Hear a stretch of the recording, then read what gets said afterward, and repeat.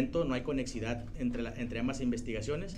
El que se dio el mismo día eh, es, un asiento, es, perdón, es un evento más reciente que tiene que ver con eh, otro tipo de informaciones que provienen, eh, me parece, de parte de algún dato proporcionado a, alguna persona de un grupo colectivo y que se agotó con la participación de la Policía Municipal y posteriormente con la intervención de elementos de la Fiscalía.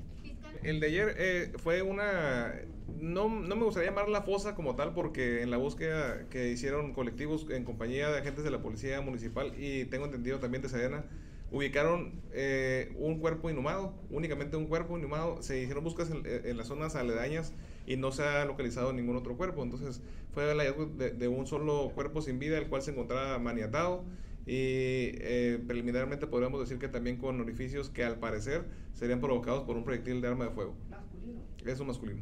Todavía no ha sido identificado. Aún no.